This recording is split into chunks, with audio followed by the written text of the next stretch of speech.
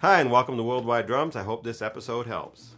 Okay, we've inspected the rope on the retaining ring, and it looks good.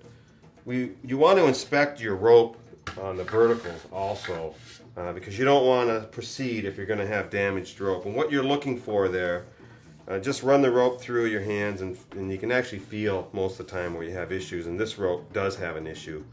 It's got a little bit of a frayed bit to it. Don't know if you can see that, but it is frayed right there.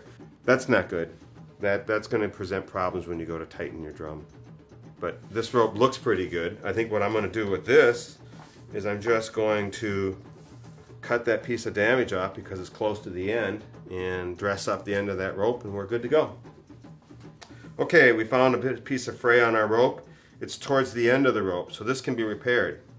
It's a pretty simple repair. We're cutting it. Whenever you cut the rope, always just prepare it right away so it doesn't get all frayed and gnarly. Just get that nice and hot. The trick here is to heat the rope up the body of the rope a little bit, not just the very tip, but heat it up here as well. Take a business card and lay your rope in there and twist the rope while you're pulling it out. And what it does is it gives you a little bit of a point to work with so that it is easier to lace later on. Now I have a nice kind of pointy tip that I can use to lace up through there without a lot of problems.